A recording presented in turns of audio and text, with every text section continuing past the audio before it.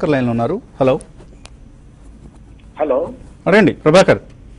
ఆ, సార్ నమస్కారం అండి. అక్కడ ఉన్న వాళ్ళందరికీ కూడా. నమస్తే అండి. నమస్కారం. ఆ, సార్ నేను చెప్పదలుచుకుంది ఏంటంటే ఆ, ఒక మనిషి జీవితంలో కింద స్థాయి నుంచి పెద్ద స్థాయికి ఎదగాలి అంటే ఖచ్చితంగా చరిత్రను చదవాలని అనుకుంటారు.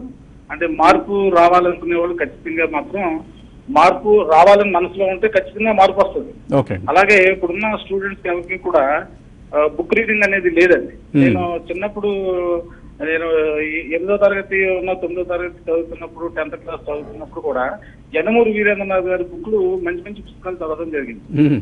నేను ఎంప్లాయీగా జాయిన్ అయినప్పుడు కూడా ఎక్కడ బాధ్యతగా ఉండేవాడిని కాదు బాధ్యత అంటే ఐ మీన్ దట్ చెడు వ్యసనాలని కాదు కానీ Hmm. మామూలుగా ఏదో ఉద్యోగం చేస్తున్నాము వెళ్తున్నామా అన్న దృష్టిలో ఉండేవాడిని అయితే ఎన్నూరు గారి ఆ, విజయానికి ఐదు మెట్లు అనే పుస్తకాన్ని నేను చదివి ఆ పుస్తకం చదవడం వల్ల నాలో ఎంతో మార్పు వచ్చిందండి.